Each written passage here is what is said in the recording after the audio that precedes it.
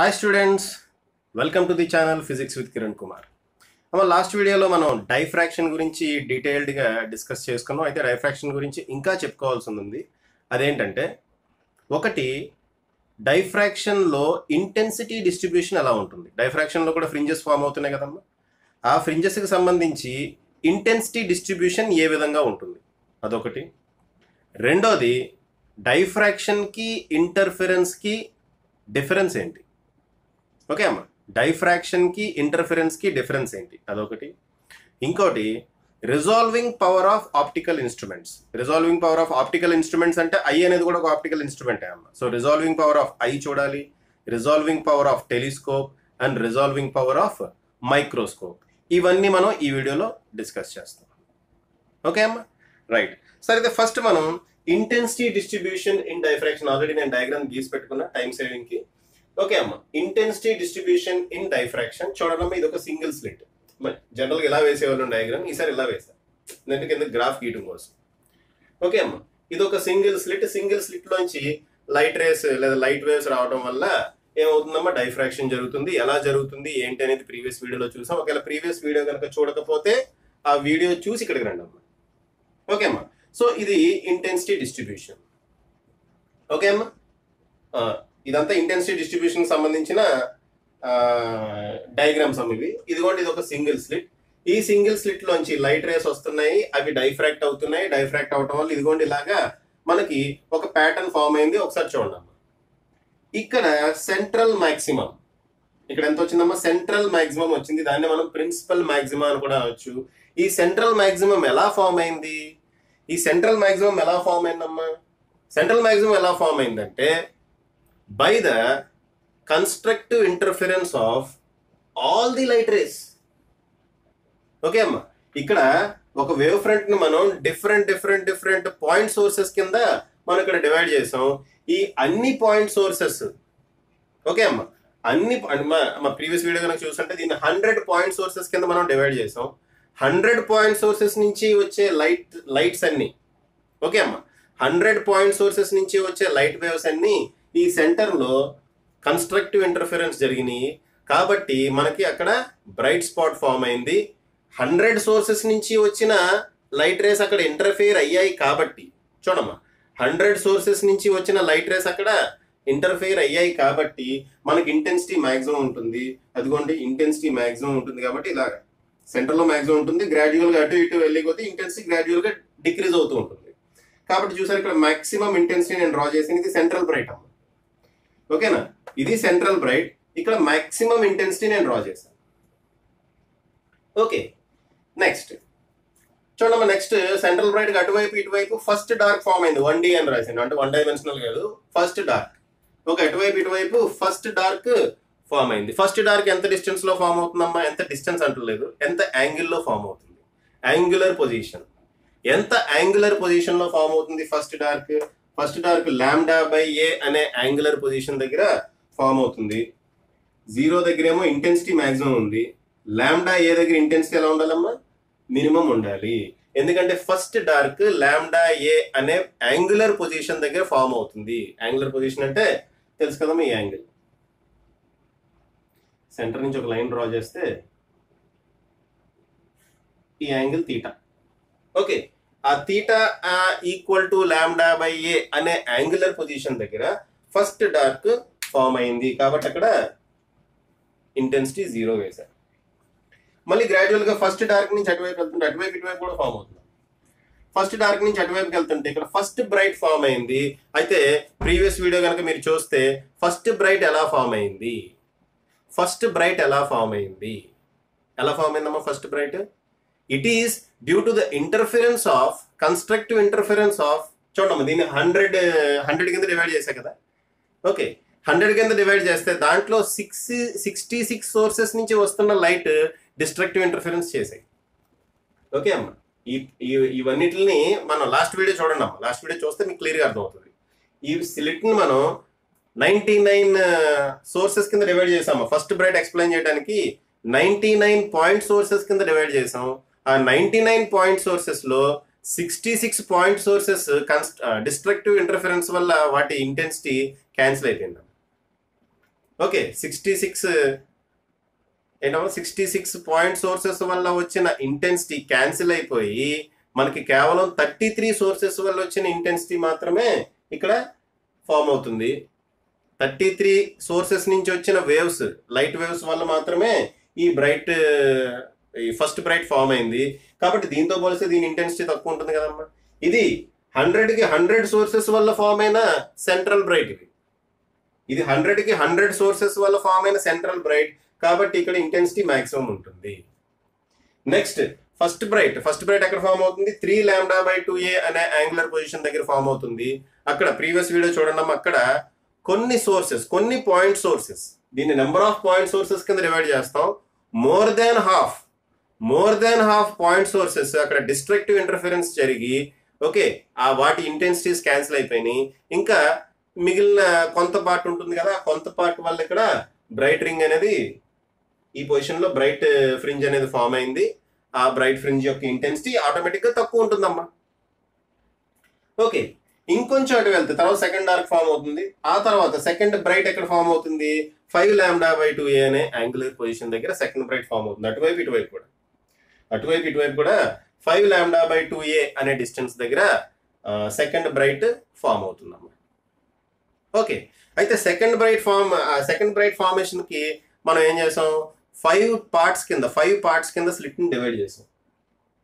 Hundred sources five parts కింద divide చేసాం. దాంట్లో ఏం జరిగిందమ్మా?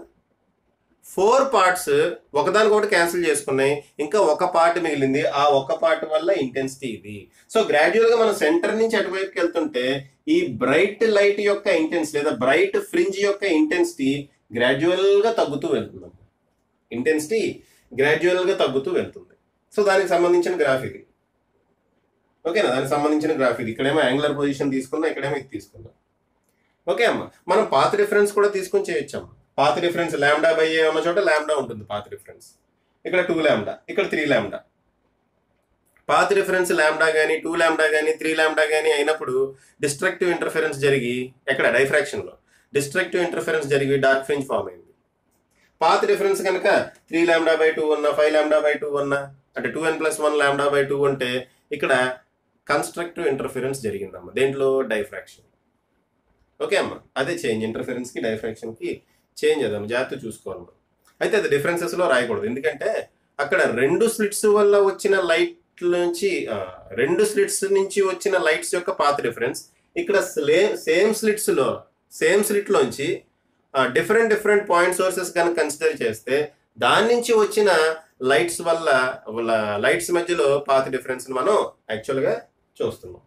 ఓకేనా? సో దాని డిఫరెన్స్ కింద రాయకూడదు.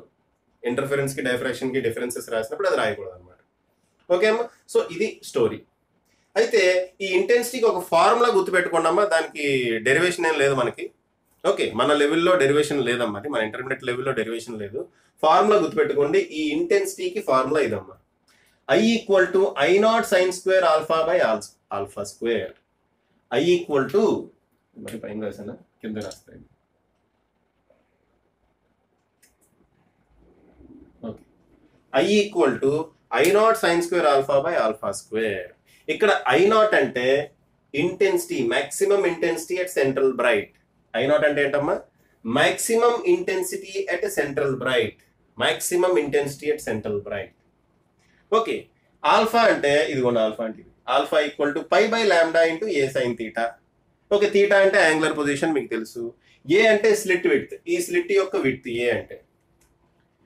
ఓకేనా లాండా అంటే wavelength of light okay lambda అంటే wavelength of light so ఈ ఫార్ములా గుర్తుపెట్టుకోవాలమ్మా దీని డెరివేషన్ లేదు. మన మన లెవెల్లో లేదు. యాక్చువల్గా డిగ్రీలో ఉంటుంది అది ఓకే బీఎస్సీలో ఉంటుందమ్మా. సో మనకి ప్రస్తుతానికి జస్ట్ ఫార్ములా గుర్తుపెట్టుకోండి అంతే చాలు. ఓకే రైట్ సో పాస్ చేసి రాసుకున్నాం అది అమ్మ చూడండి. దీనికి సంబంధించిన పీడిఎఫ్ నోట్స్ uh, నేను టెలిగ్రామ్ టెలిగ్రామ్ యాప్లో ఫిజిక్స్ విత్ కిరణ్ కుమార్ అని ఒక ఛానల్ క్రియేట్ చేశానమ్మా. దాంట్లో ఆల్రెడీ కొంతమంది మెంబర్స్ యాడ్ అయ్యి ఉన్నారు. ఓకే దాని నేను ఈ లెసన్కి సంబంధించిన పీడిఎఫ్ నోట్స్ అందులో పెడతాను. ఇన్ కేస్ మీరు రన్నింగ్ నోట్స్ కనుక రాసుకోకపోతే ఆ పీడిఎఫ్ డౌన్లోడ్ uh, చేసుకుని చూసుకోండి అమ్మా అయితే నా సజెషన్ ఏంటంటే మీరు రన్నింగ్ నోట్స్ రాయండి. మీ అంతటా మీరు రన్నింగ్ నోట్స్ రాస్తే మీకు గుర్తుంటుంది. లేదంటే అన్ని మెటీరియల్ చదివినట్టు ఇది కూడా ఉంటుంది ఓకే మన మెటీరియల్ మనం ప్రిపేర్ చేసుకుంటే మనకు గుర్తుంటుంది మనం రాసినప్పుడు. మనకు రాసినప్పుడు ఏదో డౌట్ వస్తుంది. ఆ డౌట్ మీరు గ్రూప్లో అడగవచ్చు టెలిగ్రామ్ గ్రూప్లో అడగవచ్చు నేను క్లారిఫై చేస్తాను ఏదైనా డౌట్ వచ్చినా. Okay so Telegram group join అవ్వండి అమ్మ టెలిగ్రామ్ యాప్ వేసుకొని దాంట్లో ఫిజిక్స్ విత్ కిరణ్ కుమార్ అని టైప్ చేయండి. నా గ్రూప్ వస్తుంది. దాంట్లో మీరు జాయిన్ అవ్వచ్చు. అక్కడ డిస్కషన్ పెట్టవచ్చు డైరెక్ట్గా నాతోటి. ఓకే రైట్ పాజ్ చేసి రాసుకోండి. నెక్స్ట్ ఒక టూ క్వశ్చన్స్ రాసే చూడండి అమ్మ ఒకసారి. డైఫ్రాక్షన్ సంబంధించి. A parallel beam of monochromatic light of wavelength lambda. Lambda ఇచ్చాడు సొల్యూషన్ రాస్తున్నాను ఇక్కడ. లాంబ్డా ఇచ్చాడు four hundred and fifty nanometers lambda four hundred and fifty nanometers lambda okay passing through a slit of width zero point two millimeters అమ్మా slit width కూడా ఇచ్చేసాడు. నానోమీటర్స్ని మీటర్స్లో మార్చేద్దామా? నానోమీటర్స్ని మీటర్స్లో మార్చేద్దాం మారిస్తే four fifty into ten power minus nine meters ఇక్కడ స్లిట్ విత్ కూడా ఇచ్చాడమ్మా. ఏమి ఇచ్చాడు? Zero point two millimeters. అంటే zero point two into ten power minus three metres. మిల్లీమీటర్స్ని మీటర్స్లోకి మారిస్తే టెన్ పవర్ మైనస్ త్రీతో మల్టిప్లై చేయాలి. Okay? Find the angular divergence in which most of the light is diffracted angular divergence కనుక్కోమన్నాడమ్మా. ఏంటది? ఆ ఏం angular divergence in which most of the light is diffracted most of the light diffract ఎక్కడికి అవుతుందమ్మా central maximum దగ్గరే కదా అవుతుంది. ఇది central maximum okay most of the light ఇక్కడే కదా అవుతుంది. ఈ వాల్యూ తీటా ఈ వాల్యూ కూడా తీటా. సో మనం టూ తీటా వాల్యూ కనుక్కోవాలి. అంటే సెంట్రల్ మ్యాక్సిమం యొక్క విత్ కనుక్కోవాలమ్మా అంతే సింపుల్. సెంట్రల్ మ్యాక్సిమం యొక్క యాంగులర్ విత్ కనుక్కోవాలి అంతే angular width of central maximum angular width of central maximum కనుక్కోవాలి? Angular width of central maximum ఎంత? Angular width of central maximum two lambda by a ఆ value కనుక్కుంటే సరిపోతుందమ్మా. Angular width of central maximum two lambda by a ఎందుకు? First bright ఇక్కడ ల్యాండా ల్యాండా by a అనే position దగ్గర ఫామ్ అవుతుంది. First dark sorry first dark lambda by a position దగ్గర ఫామ్ అవుతుంది. ఇటువైపు కూడా ల్యాండా బై ఏ అనే పొజిషన్ దగ్గర ఫామ్ అవుతుంది. మనం ఇదే కదా కనుక్కోవాలి టోటల్ కనుక్కోవాలి కదా ఇక్కడ నుంచి ఇక్కడికి. సో అక్కడి నుంచి అక్కడికి యాంగిల్ ఏమవుతుందో two lambda by okay right two into lambda ఎంతమ్మా? Four hundred and fifty into ten power minus nine divided by a ఎంత? Zero point two into ten power minus three okay ఈ zero point two two దేలో ten times cancel అవుతుంది. ఈ ten power minus three పైకి వెళ్ళింది అనుకోండి ten power plus three అవుతుంది. యాక్చువల్గా టెన్ పవర్ ప్లస్ ఫోర్ ఉందమ్మా పైన.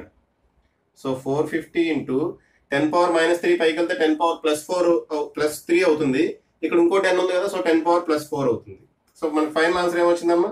Four fifty into ten power minus nine plus four. ఏమవుతుంది? Minus five metres. ఇదే మనకు కావాల్సిన యాంగులర్ విత్ ఓ సారీ మీటర్స్ కాదండి ఇది యాంగులర్ విత్ రేడియన్స్లో వస్తుంది కదా radians. So four fifty into ten power minus five radians వస్తాయమ్మా okay కావాలంటే దీన్ని కొంచెం మనం ఇచ్చేసుకోవచ్చు అమ్మా. అటు ఇటు చేసుకోవచ్చు కదా. ఓకే అంటే ఫైవ్ ఫర్ ఎగ్జాంపుల్ దీన్నే మనం four point five into ten power minus three radians అని రాయొచ్చు కదా. ఓకే అలా వదిలేసినా పర్లేదు. ఓకే ఎలా వదిలేసినా పర్లేదు. నో ప్రాబ్లం అలా వదిలేండి ఏమవుతుంది? ఓకేనా? రైట్ సరే నెక్స్ట్ ఆ క్వశ్చన్ చూడండి అటువైపు సెకండ్ క్వశ్చన్ చూడండి. సెకండ్ క్వశ్చన్ ఏంటి? A beam of light of wavelength lambda equal to four hundred nanometres ఎంతమ్మా lambda value four hundred nanometres అంటే four hundred into ten power minus nine metres okay falls on a narrow slit and the resulting diffraction pattern is obtained on a screen two metres away from the slit స్లిట్కి స్క్రీన్కి మధ్యలో distance two metres ఉందట. అంటే capital D ఇచ్చాడమ్మా two metres okay. It is observed that second order maxima is observed at a distance of two millimetres five from the position of central maxima find the width of the slit అడిగాడు width of the slit అడిగాడు. A value కనుక్కోవాలి మనం? So మనకి ఏమి ఇచ్చాడు? Data ఏమి ఇచ్చాడమ్మా? ఇదిగోండి ఈ రెండు ఇచ్చాడు. అది కాకుండా ఇది కూడా ఇచ్చాడు. ఏంటది the position of central maxima sorry sorry the position of the position of second order minima second order minima second order minima is equal to two millimetres from central bright అన్నాడు అంటే ఇది ఇచ్చాడు ఇది సెంట్రల్ బ్రైట్ ఇది first bright ఇది second bright ఇక్కడ నుంచి distance ఇచ్చాడు. దాన్నే మనం వై టూ డి అని రాసుకున్నాం.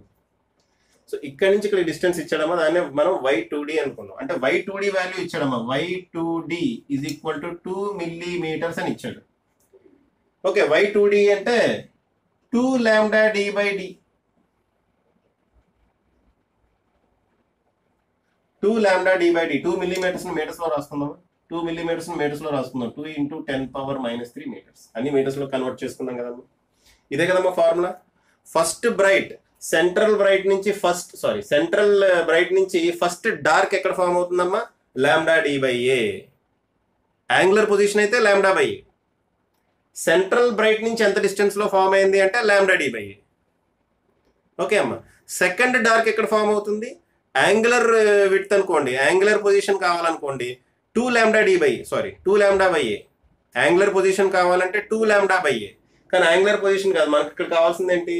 సెంట్రల్ బ్రైట్ నుంచి ఇది ఇది సెంట్రల్ బ్రైట్ సెంట్రల్ బ్రైట్ నుంచి సెకండ్ డార్క్కి డిస్టెన్స్ కావాలి. దానికి formula two lambda D by A మనం కనుక్కోవాల్సింది ఏంటి? ఏ వాల్యూ కనుక్కోవాలి టూ టూ క్యాన్సిల్ అయిపోతుంది. ఓకే టూ టూ క్యాన్సిల్ అని చేసామమ్మా ఏ వాల్యూ కావాలి. ఏ ఈక్వల్ టు ఏమవుతుంది? Lambda into D into ten cube a అటు తీసుకెళ్ళా ten power minus three D తీసుకొస్తే టెన్ పవర్ ప్లస్ త్రీ అవుతుంది. ఆ వాల్యూ సబ్స్టిట్యూట్ చేయండి అంత సింపుల్ ల్యాండా వాల్యూ అంతా four hundred into ten power minus nine into D value అంతా two metres into ten cube అయిపోయింది. Okay ఇక్కడ రెండు సున్నాలు ఉన్నాయి ఇక్కడ టెన్ క్యూబ్ ఉంది. సో టెన్ పవర్ ఫైవ్ అవుతుంది. Four twos are eight. Four twos are eight అమ్మా. ఎయిట్ ఇంటూ ఎయిట్ ఇంటూ ఇక్కడ టెన్ పవర్ ఫైవ్ అమ్మ టెన్ పవర్ త్రీ ఉంది ఇక్కడ టూ రెండు సున్నాలు ఉన్నాయి. సో టెన్ పవర్ ఫైవ్ అవుతుంది. Ten power five minus nine ten power minus four metres. Okay దీన్ని ఎలా రాసుకోవచ్చు కదా? Zero point eight millimetres. Ten power eight into ten power minus four మీటర్స్ని zero point eight into ten power minus three metres అని రాసుకోవచ్చు. Okay into ten power minus three అంటే millimetres. కాబట్టి zero point eight millimetres. Okay అమ్మా కనపడుతుందా కింద board? అరే అరే బాగా కిందకి వెళ్ళిపోయిందా రైట్ కొంచెం కిందకి వెళ్ళిందమ్మా పైన రాస్తా ఇది.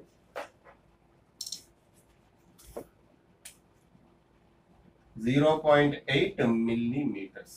Okay? Right. Pause చేసి రాసుకోండి అమ్మా పాజ్ చేసి రాసుకోండి ఓకే అమ్మా నెక్స్ట్ టాపిక్ ఇంటర్ఫిరెన్స్ అండ్ డైఫ్రాక్షన్కి మధ్యలో డిఫరెన్సెస్ ఇక్కడ ఆల్రెడీ రాసాము ఒక త్రీ డిఫరెన్సెస్ రాసాను అది రాస్తే సరిపోతుంది. చూడమ్మా ఈ టాపిక్ ఇంటర్ఫిరెన్స్ అండ్ డైఫ్రాక్షన్స్ మధ్యలో డిఫరెన్స్ యాక్చువల్గా ఎవరి మధ్య ఎవరెవరి డిఫరెన్సెస్ అంటే ఇవి యంగ్స్ డబుల్ స్లిట్ ఎక్స్పెరిమెంట్లో ఇంటర్ఫిరెన్స్కి సింగిల్ స్లిట్ డైఫ్రాక్షన్కి యంగ్స్ డబుల్ స్లిట్ ఎక్స్పెరిమెంట్లో ఇంటర్ఫిరెన్స్కి సింగిల్ స్లిట్ డైఫ్రాక్షన్కి ఈ రెండింటికి మధ్యలో డిఫరెన్స్ అమ్మ అంటే డబుల్ స్లిట్ ఇంటర్ఫిరెన్స్కి సింగిల్ స్లిట్ డైఫ్రాక్షన్కి మధ్యలో డిఫరెన్స్ ఇది యాక్చువల్ ఇంటర్ఫిరెన్స్కి డిఫరెన్స్ డైఫ్రాక్షన్కి కాదు ఓకేనమ్మా సో రైట్ చూడమ్మా వాట్ ఈజ్ ఇంటర్ఫిరెన్స్ చూడండి ఇంటర్ఫిరెన్స్లో ఫస్ట్ పాయింట్ చూడమ్మా. Interference pattern has a number of equally spaced bright and dark bands అంతే కదమ్మా. ఇంటర్ఫిరెన్స్లో మనకి ఏం ఫామ్ అవుతాయి? Equally spaced okay equally spaced bright and dark bands మనకి ఇంటర్ఫిరెన్స్లో ఫామ్ అవుతుంది. అయితే డైఫ్రాక్షన్లో సెంట్రల్ బ్రైట్ ఏమో చాలా ఇలా విడ్త్ ఎక్కువ ఉంటుంది. మిగిలినవి పక్కన ఉంటాయి. మిగిలిన ఏది? మన ఫస్ట్ మినిమా కన్నా ఫస్ట్ మినిమా కన్నా సెంట్రల్ బ్రైట్ డబుల్ విడ్త్ ఉంటుందమ్మ ఇక్కడ అలా కాదు ఈక్వల్లీ స్పేస్ అవన్నీ ఈక్వల్ విడ్స్ ఉంటాయి దేంట్లో ఇంటర్ఫరెన్స్లో డైఫ్రాక్షన్లో సెంట్రల్ మాక్సిమం ఏదైతే ఉందో అది యాక్చువల్గా డబుల్ విడ్త్ ఉంటుంది. ఎవరికి? ఫస్ట్ మినిమాకి. ఓకే అదర్ మినిమా అన్నాడు అక్కడ okay right so intensity of all bright bands is same దేంట్లో ఇంటర్ఫరెన్స్లో అన్ని బ్రైట్ బ్యాండ్స్ ఇంటెన్సిటీ సేమ్ అమ్మా. ఓకే ఇంటర్ఫరెన్స్లో uh, అన్ని బ్రైట్ బ్యాండ్స్ ఇంటెన్సిటీ సేమ్. అయితే ఇక్కడ చూడమ్మా డైఫ్రాక్షన్లో ఇంటెన్సిటీ సెంట్రల్ బ్రైట్ బ్యాండ్ కేమో మాక్సిమం ఉంటుంది.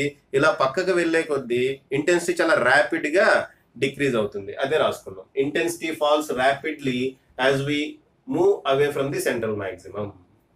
Next.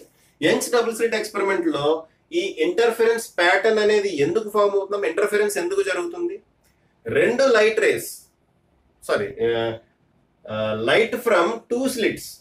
రెండు నేరో స్లిట్స్ నుంచి వచ్చిన లైట్ సూపర్ ఇంపోజ్ అయ్యి. ఓకే అమ్మా? రెండు narrow slits two narrow slits కనుక తీసుకుంటే ఆ టూ నేరో స్లిట్స్ నుంచి వచ్చిన లైట్ వేవ్స్ సూపర్ ఇంపోజిషన్ వల్ల మనకి ఇంటర్ఫిరెన్స్ అనేది ఏర్పడుతుంది. బట్ ఇక్కడ అలా కాదు. ఇక్కడ అలా కాదు. ఓకే ఇక్కడ లైట్ వేవ్ సూపర్ ఇంపోజ్ అవుతున్నాయి ఇక్కడ కూడా. కానీ సింగిల్ స్లిట్ ఒక స్లిట్నే ఒక స్లిట్లోనే నెంబర్ ఆఫ్ పాయింట్ సోర్సెస్ ఉన్నట్టు మనం ఎజ్యూమ్ చేసుకోవచ్చు as per Huygens wave theory Huygens wave theory ప్రకారం ఒక స్లిట్నే నెంబర్ ఆఫ్ పాయింట్ సోర్సెస్ కింద ఎజ్యూమ్ చేసుకోవచ్చమ్మా. ఆ నెంబర్ ఆఫ్ పాయింట్ సోర్సెస్ నుంచి వచ్చిన లైట్ రేస్ ఇంటర్ఫియర్ అవటం వల్ల మనకి డైఫ్రాక్షన్ ప్యాటర్న్ ఫామ్ అవుతుంది. అక్కడ రిజల్టెంట్ ఇంటెన్సిటీ ఆ విధంగా మనం ఎక్స్ప్లెయిన్ చేస్తాం. ఓకే ఈ మూడు డిఫరెన్సెస్ మనకి ఇంటర్ఫిరెన్స్ డైఫ్రాక్షన్లో ఇంపార్టెంట్ ఎవరెవరికి డిఫరెన్సెస్ అమ్మేవి డబుల్ స్లిట్ ఎక్స్పెరిమెంట్కి సింగిల్ స్లిట్ డైఫ్రాక్షన్కి డబుల్ స్లిట్ ఇంటర్ఫరెన్స్కి సింగిల్ స్లిట్ డైఫ్రాక్షన్కి మధ్యలో డిఫరెన్సెస్ చూడమ్మా డబుల్ స్లిట్లో కూడా డైఫ్రాక్షన్ జరుగుతుంది. అమ్మ నిజం చెప్పాలంటే ఇంటర్ఫెరెన్స్ని డైఫ్రాక్షన్ని మనం వేరు వేరుగా చూడలేము ఓకే ఇంటర్ఫెరెన్స్ జరిగిన చోట డైఫ్రాక్షన్ కూడా జరుగుతుంది. డైఫ్రాక్షన్ జరిగిన చోట ఇంటర్ఫెరెన్స్ కూడా జరుగుతుంది. ఓకే ఇంటర్ఫెరెన్స్ జరిగిన చోట డైఫ్రాక్షన్ కూడా జరుగుతుందమ్మా. డైఫ్రాక్షన్ జరిగిన చోట ఇంటర్ఫెరెన్స్ కూడా జరుగుతుంది. జస్ట్ మన పాయింట్ ఆఫ్ వ్యూ డిఫరెంట్ అంతే. ఓకేనా? సేమ్ రెండు రెండింటిని మనం వేరువేరుగా చూడాలి నిజానికి. టు బి నిజానికి రెండింటిని మనం వేరువేరుగా డిఫరెన్షియేట్ చేసి మామూలుగా ఇన్ ప్రాక్టీస్ అయితే చెప్పలేము అమ్మ. ఇక్కడ డైఫ్రాక్షన్ జరిగింది ఇక్కడ ఇంటర్ఫరెన్స్ జరిగింది అంటే రెండు జరుగుతాయి. ఇంటర్ఫరెన్స్ జరుగుతుంది డైఫ్రాక్షన్ కూడా జరుగుతుంది. డబుల్ స్లిట్ డైఫ్రాక్ట్ కాదా లైట్ డబుల్ స్లిట్లో కూడా డైఫ్రాక్ట్ అవుతుంది కదమ్మా లైట్ ఓకే అక్కడ ఇంటర్ఫరెన్స్ డైఫ్రాక్షన్ ప్యాటర్న్ మనం కలిపి చూస్తాం యాక్చువల్గా ఇన్ ప్రాక్టీస్ ఓకే అమ్మా? అంతే. సో ఆ ఇంటర్ఫెరెన్స్ డైఫ్రాక్షన్ అనేది మనం వేరువేరుగా చూడలేం. బట్ స్ట్రిక్ట్గా మాట్లాడుకుంటే ఇదిగోండి ఇంటర్ఫెరెన్స్ ఇలా జరుగుతుంది డైఫ్రాక్షన్ ఈ విధంగా జరుగుతుంది. ఓకే అమ్మా? సో పాజ్ చేసి రాసుకోండి అమ్మా. పాజ్ చేసి రాసుకో ఓకే నెక్స్ట్ మనం resolution of optical instruments resolving power of optical instruments optical instruments optical instruments అంటే ఐ టెలిస్కోప్ మైక్రోస్కోప్ ఈ మూడో చేస్తామా మనం? వాటి యొక్క రిజాల్వింగ్ పవర్ ఎలా ఉంటుంది ఏ విధంగా ఉంటుంది ఎలా క్యాల్కులేట్ చేయాలి ఇది మనం చూస్తాం okay so what is resolving power what is limit of resolution అనేది ఇక్కడ నేను డెఫినేషన్స్ రాశాను. ఓకే అవి రాసుకుందరు కానీ అయితే మనం ముందు వాట్ ఈజ్ రిజాల్వింగ్ పవర్ అనేది చూద్దాం. ఓకే రిజాల్వింగ్ పవర్ అనేది చూద్దాం. ఫర్ ఎగ్జాంపుల్ దూరంగా ఒక కార్ వస్తుంది అనుకోండి ఆ కార్ యొక్క హెడ్ లైట్స్ ఇవి. కార్కి ముందు రెండు హెడ్ లైట్స్ ఉంటాయి కదమ్మా. కార్కి రెండు హెడ్ లైట్స్ ఇలా ఉంటాయి కదా. ఓకే. ఆ కార్ యొక్క హెడ్ లైట్స్ మన చీకట్లో ఉన్నాం. దూరంగా చూస్తున్నాం బాగా దూరంగా ఉన్నప్పుడు రెండు హెడ్ లైట్స్ కలిసిపోయి ఒకటే హెడ్ లైట్ కింద కనబడుతుంది ఇలా. మనం బాగా దూరంగా ఉన్నాం. ఓకే. చాలా చాలా దూరంగా ఉన్నాం. మనం చూస్తున్నాం. ఐ అనేది ఇప్పుడు ఆప్టికల్ ఇన్స్ట్రుమెంట్. ఆ ఆప్టికల్ ఇన్స్ట్రుమెంట్ ఉపయోగించి బాగా దూరంగా ఒక కార్ వస్తుంది. చాలా దూరంలో ఉంది. అయితే చీకట్లో అది కారో ఏంటో మనకు తెలియదు. చీకట్లో ఏం జరిగింది? ఆ రెండు హెడ్ లైట్స్ మీరు అబ్జర్వ్ చేస్తే కనుక రెండు హెడ్ లైట్స్ కలిసిపోయి ఒక హెడ్ లైట్ కింద కనపడుతుంది. సో మనకు అది కార్ అని మనం అనుకోం. ఏదో బైక్ ఏదో వస్తుంది అనుకుంటాం అయితే అది దగ్గరకు వచ్చే కొద్దీ ఇది ఇలా బ్రాడ్గా బ్రాడ్గా బ్రాడ్గా బ్రాడ్గా అవటం మారి కొంచెం కొంచెం దగ్గరకు వచ్చే కొద్దీ ఇదిగోండి ఈ టైప్లో ఏం మారచ్చు? ప్యాటర్న్ ఆ టైప్లో మారచ్చు. కనబడుతుందా మరి బోర్డు మీద? రైట్. ఓకే.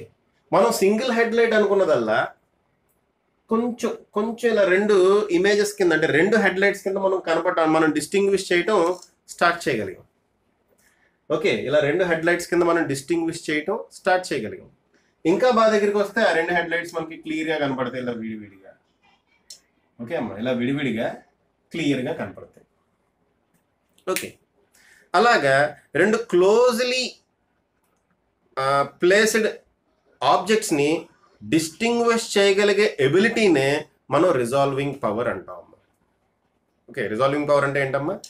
రెండు రెండు ఆబ్జెక్ట్స్ ఉన్నాయి రెండు చాలా దగ్గరగా ఉన్నాయి రిలేటివ్గా ఓకే రిలేటివ్గా అంటే దగ్గరగా ఉండటం అంటే మరిలే అతుక్కుపోయి ఉన్నాయని కాదు. రిలేటివ్గా ఇప్పుడు for example car headlights అతుక్కుపోయి ఉంటాయమ్మా లేదా దూరంగానే ఉంటాయి. అయితే కార్ మనకు బాగా దూరంగా ఉన్నప్పుడు రెండు హెడ్ లైట్స్ కలిసిపోయినట్టు అనిపిస్తుంది. అదనమాట. సో మనం మన డిస్టెన్స్ కార్ నుంచి మన డిస్టెన్స్ ఈ కార్ హెడ్ లైట్స్ డిస్టెన్స్ కనుక బాగా కంపేరబుల్గా లేవనుకోండి అప్పుడు మనకి సింగిల్ లైట్ కింద కనపడుతుంది కొంచెం కంపేరబుల్గా ఉన్న ఉంటే కంపారబుల్గా ఉండటం ఉండమంటే ఏంటి? ఆ డిస్టెన్స్ తగ్గి కొద్దీ మనకి అది సెపరేట్ సెపరేట్ లైట్స్ కింద కనపడటం స్టార్ట్ అవుతుంది. ఓకే అమ్మా. సో అలా two closely spaced objects two closely spaced ఆబ్జెక్ట్స్ని different డిఫరెంట్గా చూపించగలిగే ఎబిలిటీనే మనం రిజాల్వింగ్ పవర్ అంటాం. ఓకే అమ్మా. టూ క్లోజ్లీ స్పేస్డ్ ఆబ్జెక్ట్స్ని మామూలుగా అయితే ఒకటే ఒకటి ఒకదాని కింద కనబడుతుంది. ఓకే. వాటిని డిఫరెంట్ డిఫరెంట్ ఆబ్జెక్ట్స్గా చూపించగలిగే కెపాసిటీనే మనం రిజాల్వింగ్ పవర్ అంటాం. ఆ రిజాల్వింగ్ పవర్ దేనికి ఈక్వల్ అవుతుంది అంటే it is the reciprocal of resolving limit okay అమ్మా. It is the reciprocal of resolving limit లేదా limit of resolution it is the reciprocal of limit of resolution what is limit of resolution resolving power అంటే అర్థమైంది కదమ్మా. ఏంటవి?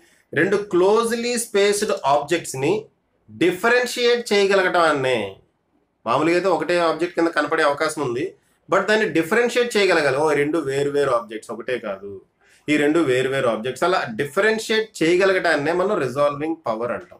ఆ ఎబిలిటీనే మనం resolving power అంటాం. అది మ్యాథమెటికల్గా దేనికి ఈక్వల్ అవుతుంది అంటే it is the reciprocal of limit of resolution మరి లిమిట్ ఆఫ్ రిజల్యూషన్ అంటే ఏంటో చూద్దాం ఒకసారి. ఇదిగోండం ఇదొక ఆబ్జెక్ట్ ఇక్కడ ఒక ఆబ్జెక్ట్ ఓకే అమ్మా? రైట్ సో ఇవి బాగా బాగా దూరంగా ఉన్నాయి. ఓకేనా ఇవి బాగా బాగా దూరంగా ఉన్నాయి. కొంచెం సైలెంట్ ముందు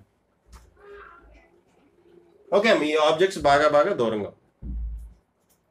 ఇప్పుడు మనం డిస్టింగ్విష్ చేయగలుగుతున్నాం ఓకే ఈ రెండు వేరు వేరే డిస్టింగ్విష్ చేయగలుగుతున్నాం. కొంచెం దగ్గర తీసుకొచ్చా? ఈ ఆబ్జెక్ట్ని కొంచెం ఇక్కడ తీసుకొచ్చా? ఇప్పుడు కూడా వేరువేరుగా డిస్టింగ్విష్ చేయగలుగుతున్నాం కదా? ఈ ఆబ్జెక్ట్ని ఇంకా దగ్గర తీసుకొచ్చా? ఇప్పుడు కూడా డిస్టింగ్విష్ చేయగలుగుతుంది ఇప్పుడు కూడా డిస్టింగ్విష్ చేయగలుగుతుంది ఓకే ఈ ఆబ్జెక్ట్ని ఇంకొంచెం దగ్గర తీసుకొచ్చా? ఈ ఆబ్జెక్ట్ని ఇంకొంచెం దగ్గర తీసుకొచ్చా? ఓకే ఇప్పుడు కూడా డిస్టింగ్విష్ చేయగలుగుతున్నాం మీ కెమెరా నుంచి చూస్తుంటే డిస్టింగ్విష్ చేయగలుగుతున్నాం. ఓకే ఇంకొంచెం దగ్గర తీసుకురాను ఆ రెండు ఆబ్జెక్ట్స్ని ఇంకొంచెం దగ్గర తీసుకు ఇక్కడి నుంచి ఇలా తీసుకొస్తున్నాం దగ్గర తీసుకొస్తున్నాం. ఇది ముగ్గేస్తున్నాం అనుకోకండి. ఓకేనా? ఇలా దగ్గర తీసుకొస్తున్న ఆబ్జెక్ట్ని ఓకే? రైట్ ఇప్పుడు డిస్టింగ్విష్ చేయగలుగుతున్నారా?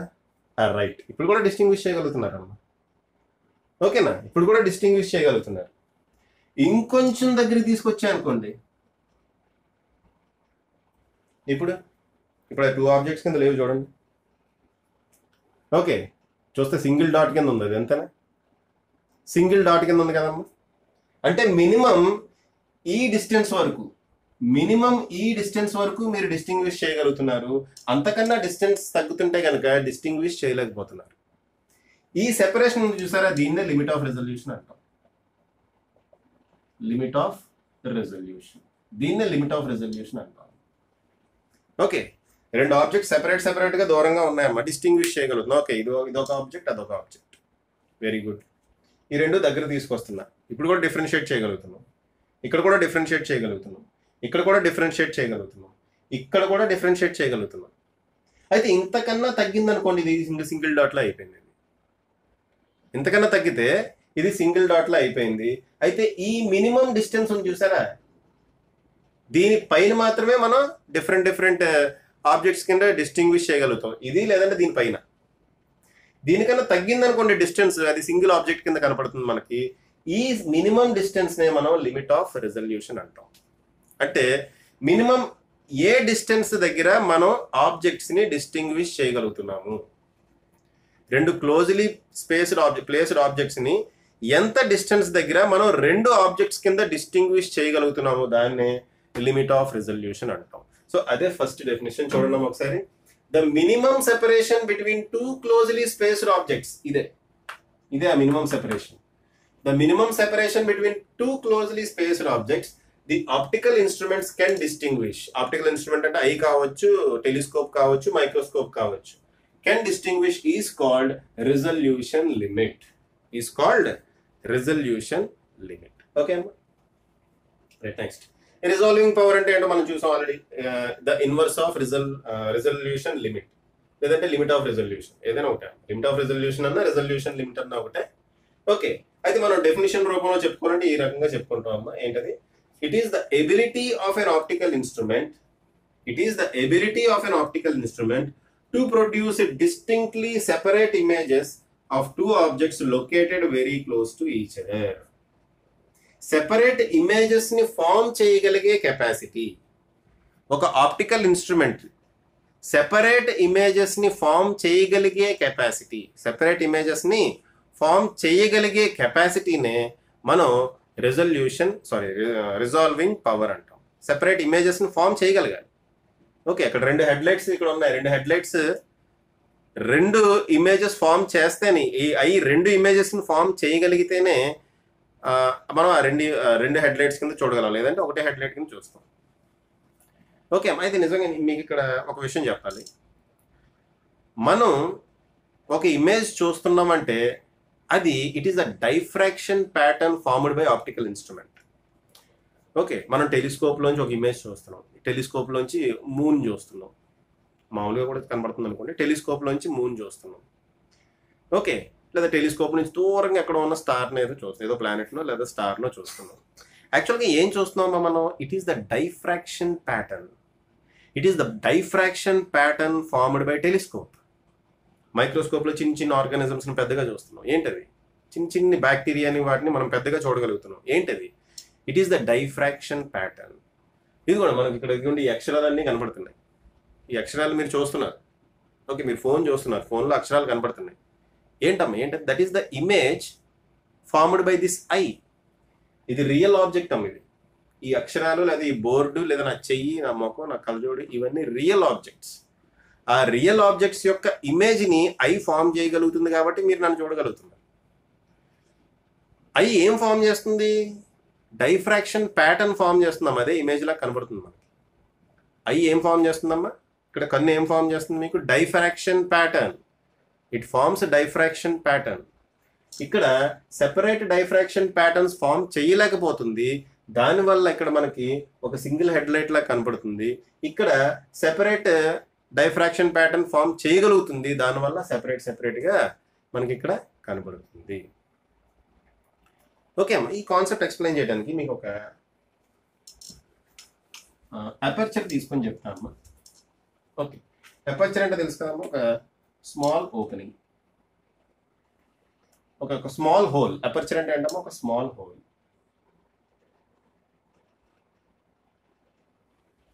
ఓకేనా అపర్చర్ అంటే అంటే ఒక స్మాల్ హోల్ ఇక్కడ ఎక్కడో డి అనే డిస్టెన్స్లో ఒక స్క్రీన్ ఉంది. డి అనే డిస్టెన్స్లో ఒక స్క్రీన్ ఉంది. ఓకే? రైట్ దీని మీద ఒక ప్లేన్ వేవ్ ఫ్రంట్ వచ్చి పడింది అనుకుందాం. ఇది ప్లేన్ వేవ్ ఫ్రంట్ ఇలా వచ్చి ఈ ఈ మీద? అపర్చర్ మీద పడింది. అపర్చర్ మీద పడితే మనకి ఇక్కడ డైఫ్రాక్షన్ ప్యాటర్న్ ఫామ్ అవుతుంది. ఎటువంటి డైఫ్రాక్షన్ ప్యాటర్న్ ఫామ్ అవుతుంది? ఇక్కడ డైఫ్రాక్షన్ ప్యాటర్న్ ఫామ్ అవుతుంది ఎలా తీద్దాం? డైఫ్రాక్షన్ ప్యాటర్న్ ఫామ్ అవుతుంది. దీని డయామీటర్ ఏ అనుకుందాం మనం.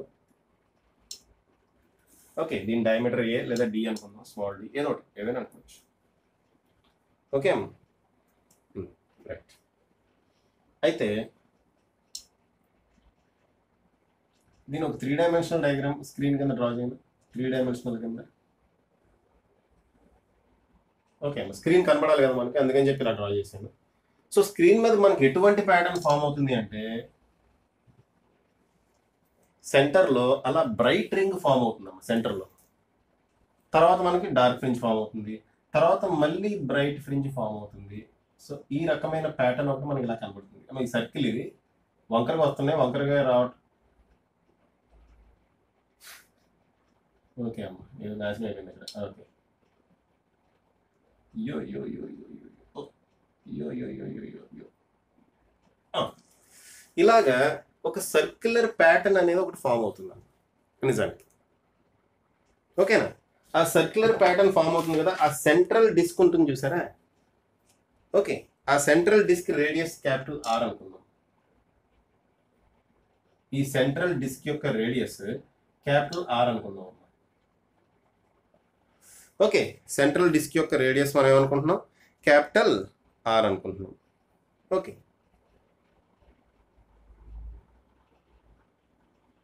ఈ యాంగిల్ని తీటా అనుకుందాం.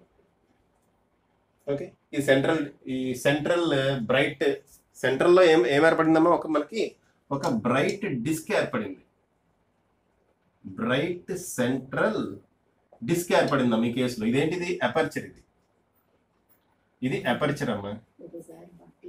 ఇది స్క్రీన్ ఓకేనా ఇది అపర్చర్ ఇది అపర్చర్ ఇది. ఇది స్క్రీన్ స్క్రీన్ మీద ఇలాగా సెంట్రల్ ఫ్రింజెస్ ఫామ్ అవుతున్నాయి. దాంట్లో సెంటర్లో ఉండేది ఒక పెద్ద డిస్క్లో ఫామ్ అవుతుంది. దాని చుట్టుపక్కల బ్రైట్నెస్ తగ్గుతూ తగ్గుతూ తగ్గుతూ కొన్ని రింగ్స్ ఫామ్ అవుతూ ఉంటాయి. Alternate bright and dark diffraction pattern తెలుసు కదా అలాగే అదే ఇది డైఫ్రాక్షన్ ప్యాటర్న్ అయింది ఓకేనా? సో మనకి సెంటర్లో ఒక బ్రైట్ ఏంటది?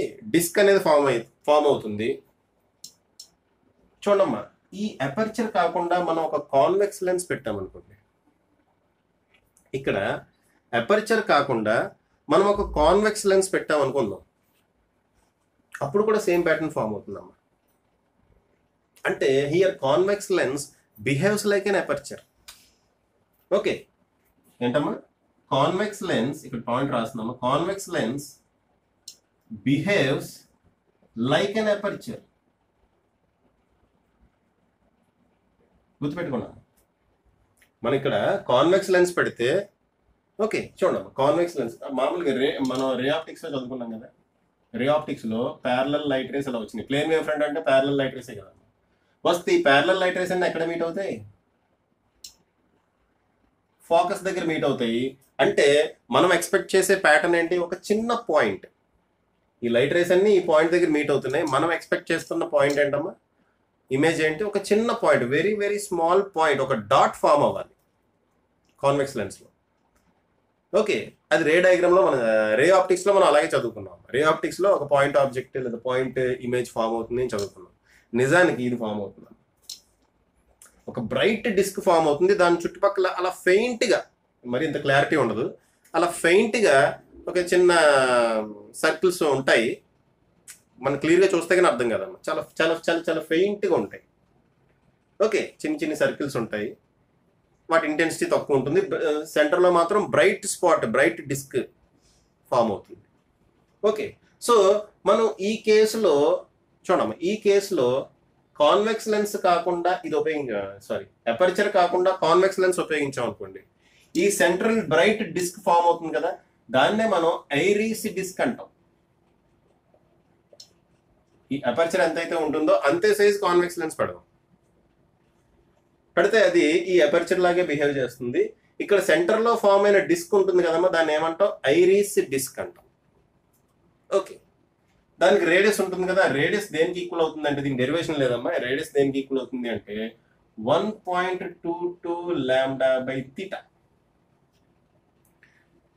okay sorry sorry తప్పు రాశానమ్మా. తీటా తీటా వాల్యూ రాయాలి ఫస్ట్ తీటా దేనికి ఈక్వల్ అవుతుంది అంటే theta equal to one point two two lambda by D ఇక్కడ తీటా ఉంది కదా? ఆ తీటా దేనికి ఈక్వల్ అవుతుందమ్మా? One point two two lambda by D దానికి డెరివేషన్ ఏమి ఉండదు గుర్తుపెట్టుకోండి ఆ వాల్యూ డెరివేషన్ మన ఇంటర్మీడియట్ లెవెల్లో ఉండదమ్మా. సో ఎంతమంది one point two two lambda by D దాని నుంచి మనం రేడియస్ క్యాలిక్యులేట్ చేయొచ్చా? దీని రేడియస్ క్యాలిక్యులేట్ చేయొచ్చా? సింపుల్ అమ్మా టెన్ తీటా వాల్యూ ఏంటి?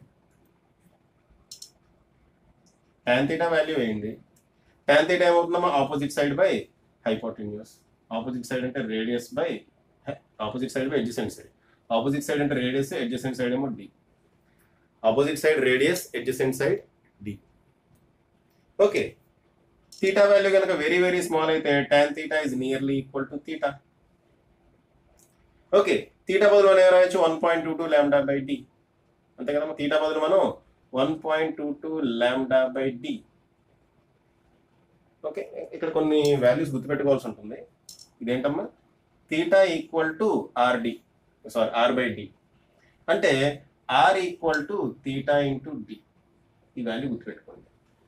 R equal to theta into D theta అంటే ఏంటి? One point two two lambda by D theta అంటే one point two two lambda by D therefore R equal to one point two two lambda D by D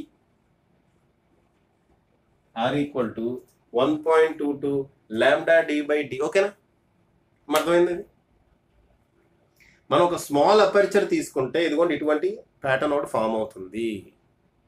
aperture బదులు మీరు convex lens వాడండి. Convex lens వాడినప్పుడు కూడా same pattern form అవుతుంది. దీంట్లో సెంటర్లో form అయ్యే బ్రైట్ డిస్క్ నే మనం ఐరీస్ డిస్క్ అంటాం. సెంటర్లో ఫామ్ అయ్యే బ్రైట్ డిస్క్ని మనం ఐరీస్ డిస్క్ అంటాం. ఆ ఐరీస్ డిస్క్ యొక్క సారీ ఐరిస్ డిస్క్ యొక్క రేడియస్ ఎంత ఉంటుందమ్మా? One point two two lambda D by D మనకి రేడియస్ కాదు యాంగిల్ ఇంపార్టెంట్ అంటే ఇక్కడ నుంచి చేసే యాంగిల్ ఇంపార్టెంట్ అమ్మ. ఈ బ్రైట్ రింగ్ ఎంత యాంగులర్ సెపరేషన్ ఉంటుంది అనేది కావాలి.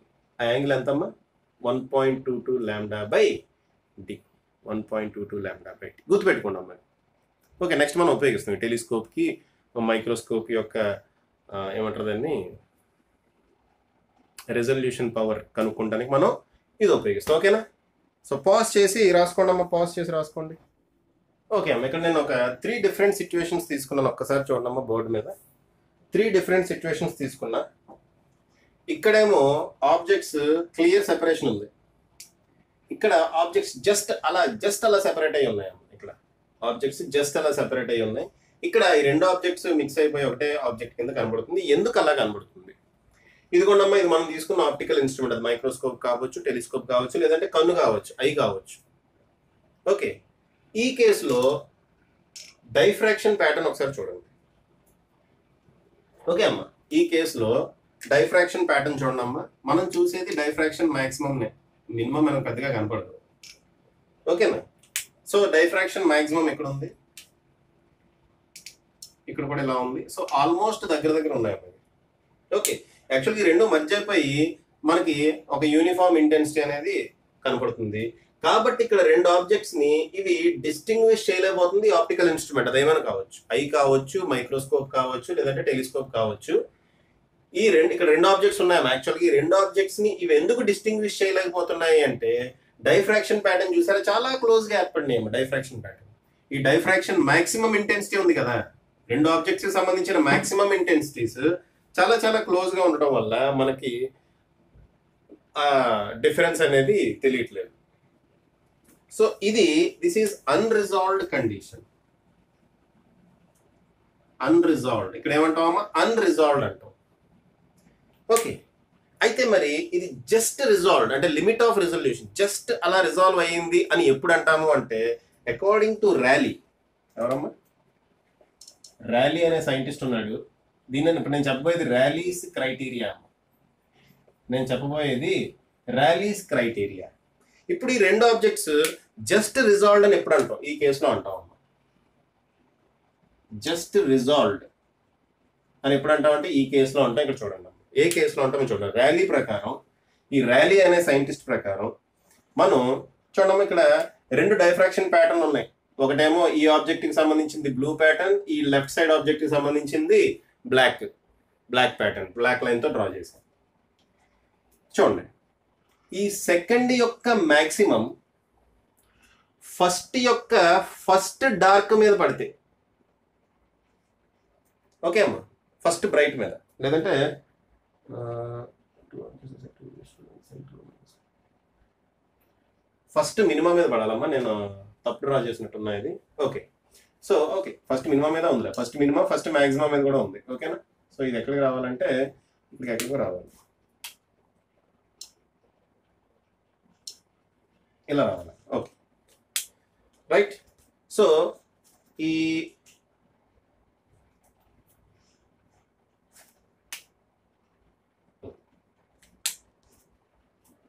చూడండి ర్యాలీస్ క్రైటీరియా అంటే ఏంటి? ర్యాలీస్ క్రైటీరియా అంటే ఏంటంటే చూడమ్మా ఈ ఫస్ట్ మినిమా మీద ఫస్ట్ ఆబ్జెక్ట్ యొక్క డైఫ్రాక్షన్ మినిమా మీద సెకండ్ ఆబ్జెక్ట్ యొక్క మ్యాక్సిమం పడింది పడింది అనుకోండి రెండు ఆల్మోస్ట్ కోయిన్సైడ్ అవుతున్నాయి అనుకోండి ఆ కేసులో మనం ఈ రెండు ఆబ్జెక్ట్స్ని జస్ట్ అలా సెపరేట్ అయినట్టు మనం గుర్తిస్తాము. ఓకే? మనం అంటే optical instrument optical instrument eye కావచ్చు మైక్రోస్కోప్ కావచ్చు టెలిస్కోప్ కావచ్చు. ఓకే అమ్మా? ఈ ఫస్ట్ ఆబ్జెక్ట్ యొక్క మినిమా మీద. ఫస్ట్ ఆబ్జెక్ట్ యొక్క ఫస్ట్ మినిమా మీద. ఓకే రాసుకోండి. ఫస్ట్ ఆబ్జెక్ట్ యొక్క ఫస్ట్ మినిమా మీద సెకండ్ ఆబ్జెక్ట్ యొక్క maxima central maxima second object యొక్క సెంట్రల్ మ్యాక్సిమా పడినప్పుడు అలా కోయిన్సైడ్ అవుతుంది అనుకోండి ఆ కేసునే జస్ట్ రిజాల్వ్డ్ అంటాం. ఓకేనా ఆ కేసునే జస్ట్ రిజాల్వ్డ్ అంటే. చూడండి ఇది ఒక పాయింట్ ఆబ్జెక్ట్ అనుకోండి. పాయింట్ ఆబ్జెక్ట్ యొక్క డైఫ్రాక్షన్ ప్యాటర్న్ ఏమవుతుందో ఒక సర్కిల్ పడుతుంది. పాయింట్ ఆబ్జెక్ట్ యొక్క డైఫ్రాక్షన్ ప్యాటర్న్ ఏమొస్తుందో ఒక సర్కిల్ వస్తుంది. ఏది ఒక లెన్స్ నుంచి పంపిస్తే మనకి ఏం ఏర్పడుతుంది? సెంటర్లో ఒక సర్కిల్ ఏర్పడుతుంది. సెకండ్ సర్కిల్ కూడా దాంట్లోనే ఏర్పడింది అనుకోండి మనం వేరువేరుగా చూడలేం కదా. సెకండ్ ఆబ్జెక్ట్ యొక్క సెంట్రల్ మ్యాక్సిమా కూడా దాంట్లోనే ఏర్పడింది అనుకోండి మనం వేరువేరుగా చూడలేం కదా. ఆ సెకండ్ డార్క్ యొక్క సెంట్రల్ మ్యాక్సిమా ఎక్కడ స్టార్ట్ అవ్వాలి? ఫస్ట్ ఇమేజ్ యొక్క ఫస్ట్ మినిమా దగ్గర స్టార్ట్ అవ్వాలి. అప్పుడే మనం సెపరేట్ ఆబ్జెక్ట్స్ కింద గుర్తించగలుగుతాం. ఓకే అమ్మా. ఆ రెండు ఆ రెండు డిస్కులు ఏది? ఎరీస్ డిస్క్ అని అన్నా కదా? Airy disc central bright discs రెండు ఇమేజ్కి సంబంధించిన సెంట్రల్ బ్రైట్ డిస్క్స్ ఎక్కడ ఫామ్ అవ్వాలమ్మా? అది జస్ట్ జస్ట్ ఈ ఈ మ్యాక్సిమా ఎక్కడైతే ఎండ్ అవుతుందో అక్కడ మినిమా స్టార్ట్ అవుతుంది. ఫస్ట్ దాని మ్యాక్సిమం ఎక్కడైతే ఎండ్ అవుతుందో అక్కడ మినిమా స్టార్ట్ అవుతుంది. ఆ స్టార్ట్ అవుతున్న మినిమా దగ్గర సెకండ్ ఆబ్జెక్ట్ యొక్క మాక్సిమా వచ్చింది అనుకోండి అప్పుడు మనకు రెండు సెపరేట్ ఆబ్జెక్ట్స్ కింద కనపడతాయి దాన్నే మనం జస్ట్ రిజాల్వ్డ్ కండిషన్ అంటాం. దూరం దూరంగా ఉన్నాయి అనుకోండి ప్యాటర్న్ కూడా దూరం దూరంగా ఏర్పడుతుంది మనకి ఈజీగా ఇది కంప్లీట్లీ రిజాల్వ్డ్ అనమాట ఇదేంటమ్మా? కంప్లీట్లీ రిజాల్వ్డ్ అంటే ఇక్కడ మనకి సెంట్రల్ మాక్సిమా ఎక్కడ ఏర్పడుతుంది ఎలా ఏర్పడుతుంది దాని మీదే డిపెండ్ అయి ఉంటుందమ్మా మనం. ఈ ఆబ్జెక్ట్స్ని రిజాల్వ్ చేయగలుగుతున్నామా లేదా అనేది ఇక్కడ సెంట్రల్ మాక్సిమా రెండు ఒక చోట ఏర్పడుతున్నాయి ఆల్మోస్ట్ సో ఇక్కడ మనం రిజాల్వ్ చేయలేకపోతున్నాం అన్రిజాల్వ్డ్ ఇక్కడ జస్ట్ పక్క పక్కన ఏర్పడింది జస్ట్ పక్క పక్కన ఏర్పడటం అంటే ఏంటి? సెంట్రల్ మ్యాక్సిమా ఎక్కడైతే ఎండ్ అవుతుందో ఫస్ట్ ఇమేజ్ ది అంటే ఫస్ట్ మినిమా ఎక్కడైతే స్టార్ట్ అవుతుందో అక్కడ సెకండ్ దాని యొక్క సెంట్రల్ మ్యాక్సిమా వచ్చింది అనుకోండి అప్పుడు జస్ట్ అలా డివైడ్ అయినట్టు కనపడుతుంది అనమాట ఓకే రెండు ఆబ్జెక్ట్స్ ఉన్నాయి. ఇక్కడ రెండు ఆబ్జెక్ట్స్ ఉన్నాయని మన కళ్ళు కానీ లేదంటే ఆప్టికల్ ఇన్స్ట్రుమెంట్స్ కానీ గుర్తించగలుగుతాయి. ఓకే అమ్మా? సో ఇది కాన్సెప్ట్. ఓకే? సో ఈ క్రైటీరియా ఏమంటామో ర్యాలీస్ క్రైటీరియా ఇదేంటి? సెపరేట్ ఇంకా బాగా దూరం దూరంగా ఉంది. సో సెపరేట్గా డైఫ్రాక్షన్ ప్యాటర్న్ ఫామ్ అయింది. So this is completely resolved condition అనమాట ఓకే అమ్మా? రాసుకోండి అమ్మా. రాసుకోండి. సరే ఇప్పుడు limit of resolution of eye and limit of resolution of telescope ఈ రెండు పక్క పక్కన తీసుకున్నామా limit of resolution of microscope కొంచెం ఎక్స్ప్లెనేషన్ అవసరం అవుతుంది. అయితే ఈ రెండు ఈజీ ఈ రెండు ఈజీ అని ఎందుకంటున్నా అంటే ఆల్రెడీ మనం ఒక సర్క్యులర్ అపర్చర్ లేదా ఒక కాన్వెక్స్ లెన్స్ ఓకే అమ్మ? ఒక కాన్వెక్స్ లెన్స్ ఎటువంటి డైఫ్రాక్షన్ ప్యాటర్న్ ఫామ్ చేస్తుంది? ఓకే దాంట్లో అదే సెంట్రల్ మ్యాక్సిమా యొక్క విత్ ఎంత ఉంటుంది? యాంగులర్ యాంగులర్ విత్ ఎంత ఉంటుంది? అన్ని అన్ని మనం క్యాలిక్యులేట్ చేసాం. ఓకే అమ్మ? సేమ్ ఎక్స్ప్లెనేషన్ అమ్మా. Limit of resolution of eye కి లిమిట్ ఆఫ్ రెజల్యూషన్ ఆఫ్ టెలిస్కోప్కి సేమ్ ఎక్స్ప్లెనేషన్ ఇస్తున్నా చూడండి. ర్యాలీస్ క్రైటీరియా ఏంటమ్మా? ర్యాలీస్ క్రైటీరియా ఏంటి? సెకండ్ ఆబ్జెక్ట్ యొక్క చూడమ్మా. సెకండ్ ఆబ్జెక్ట్ యొక్క మ్యాక్సిమా ఫస్ట్ ఆబ్జెక్ట్ యొక్క మినిమా దగ్గర పడాలి. అంతేనా? డైఫ్రాక్షన్ ప్యాటర్న్స్ ఫామ్ చేస్తాయమ్మా. టెలిస్కోప్ వల్ల కానీ ఐ వల్ల కానీ చూడమ్మా ఇక్కడ limit of resolution of telescope కానీ limit of resolution of eye కానీ ఎవరి మీద డిపెండ్ అవుతుంది అంటే ఆబ్జెక్టివ్ లెన్స్ మీద డిపెండ్ అవుతుంది. టెలిస్కోప్లో ఆబ్జెక్టివ్ లెన్స్ కాన్వెక్స్ లెన్స్ మరి మన కంటికి ఆబ్జెక్టివ్ లెన్స్ ఎవరు? అంటే ఇదిగోండి ఈ నల్ల గుడ్డు. ఓకే మనం చూడగలుగుతున్నాం అంటే ఎవరి వల్లమ్మా? ఈ నల్ల గుడ్డు వల్ల. ఓకే దాన్ని ఐరిస్ అంటాం. సో మన ఐకి ఆబ్జెక్టివ్ లెన్స్ ఎవరు అంటే దిస్ ఐరిస్ బ్లాక్ కలర్లో ఉంది కదా ఐరిస్. ఓకే అమ్మ. సో ఆ బ్లాక్ కలర్లో ఉన్న ఐరిస్ అది మన కంటికి ఆబ్జెక్టివ్ లెన్స్. టెలిస్కోప్కి ఆబ్జెక్టివ్ లెన్స్ ఎవరు అంటే that is convex lens. So ఈ లిమిట్ ఆఫ్ రిజల్యూషన్ అనేది అంటే ఇప్పుడు రెండు ఆబ్జెక్ట్స్ని మనం డిస్టింగ్ సెపరేట్ డైఫ్రాక్షన్స్ ప్యాటర్న్ ఫామ్ చేస్తుందా లేదా అనేది ఎవరు డిసైడ్ చేస్తారంటే ఆబ్జెక్టివ్ లెన్సే. ఐపీస్ డిసైడ్ చేయదమ్మా. ఓకే టెలిస్కోప్లో ఐపీస్ కూడా ఉంటుంది. ఓకే ఆబ్జెక్టివ్ లెన్స్ ఫామ్ చేసిన ఇమేజ్ని ఐపీస్ చూస్తుంది అంతే. ఓకే అమ్మా? ఆబ్జెక్టివ్ లెన్స్ ఫామ్ చేసిన ఇమేజ్ని ఐపీస్ చూస్తుంది. ఆబ్జెక్టివ్ లెన్సే సరైన డైఫ్రాక్షన్ ప్యాటర్న్ ఫామ్ చేయకపోతే ఇంకా ఐపీస్ ఏం చేస్తుందమ్మా? కాబట్టి ఇక్కడ లిమిట్ ఆఫ్ రెజల్యూషన్ కానీ లేదంటే రిజాల్వింగ్ పవర్ ఆఫ్ టెలిస్కోప్. ఎవరి మీద టెలిస్కోప్ అయినా మైక్రోస్కోప్ అయినా ఏదైనా కానీ ఆబ్జెక్టివ్ లెన్స్ మీద డిపెండ్ అవుతుంది. ఇక్కడ మనం ఆబ్- వాడే ఆబ్జెక్టివ్ లెన్స్ ఏంటమ్మా? Convex lens. ఇక్కడ మనం వాడే ఆబ్జెక్టివ్ లెన్స్ ఏంటి? మనం వాడేది కాదు. మనకు ఉండే ఆబ్జెక్టివ్ లెన్స్ ఏంటమ్మా? ఐరిస్. ఓకేనా? అయితే మనం కాన్వెక్స్ లెన్స్ కేసులో చూసామమ్మా కాన్వెక్స్ లెన్స్ కేసులో మనకి సెంటర్లో ఒక బ్రైట్ డిస్క్ ఫామ్ అయింది. ఆ బ్రైట్ డిస్క్ యొక్క యాంగులర్ విట్ ఎంత? ఓకే అమ్మా. చూడమ్మా ఇదే కదా కాన్వెక్స్ లెన్స్? ఇక్కడ ఒక బ్రైట్ డిస్క్ ఫామ్ అయిందని చెప్పుకున్నాం కదా మనం స్క్రీన్ మీద. ఓకే స్క్రీన్ మీద ఒక బ్రైట్ డిస్క్ ఫామ్ అయిందని చెప్పుకున్నాం కదమ్మా సెంటర్ నుంచి ఈ యాంగిలే కదమ్మా తీటా? ఈ యాంగిల్ తీటా కదా? ఇక్కడ మనం వాడిన వేవ్ లెంత్ కనుక ల్యాండా అయితే theta equal to one point two two lambda by D అని చెప్పుకున్నాం. డి అంటే ఏంటి? Diameter of the lens D అంటే ఏంటమ్మా? Diameter of the lens. So ఈ యాంగిల్ ఏమైందమ్మా? One point two two lambda by D అంటే ఈ సెంటర్ నుంచి ఎగ్జాక్ట్గా అక్కడ ఏం జరుగుతుందమ్మా? సెంటర్ నుంచి ఎగ్జాక్ట్గా ఆ పొజిషన్ దగ్గర ఏం జరుగుతుంది? సెంట్రల్ మ్యాక్సిమా ఎండ్ అయ్యి ఫస్ట్ మినిమా స్టార్ట్ అవుతుంది ఈ పొజిషన్ దగ్గర. అంటే యాంగిల్ తీసుకున్నాం అమ్మా ఈ పర్టికులర్ యాంగిల్ దగ్గర మనకి సెంట్రల్ మినిమా స్టార్ట్ అవుతుంది. ఓకే అగ్రియా సెంట్రల్ మినిమా స్టార్ట్ అవుతుంది. అంతేనమ్మా?